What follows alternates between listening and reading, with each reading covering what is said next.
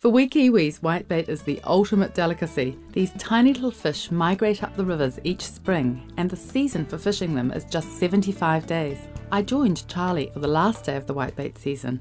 You pay a million dollars for this. This is on my back door. You just go out and enjoy it. You can't meet better people when you're out and about whitebaiting. It's a, it's a thing of its own. My attitude is if the birds are singing, the bait's swimming. So you get out there crack of dawn and get yourself sorted out, and uh, it's going good, and you, you'll get it. If it's not there, then you won't get it. I treat it as my holiday, and it's incredible. Whitebait are an instinctive little fish. It just wants to do what it wants to do, and you can't do much to stop it. Or, or when it's going, it's going. You know, it doesn't happen every day. If it happened every day, you wouldn't be here. It wouldn't be the enjoyment.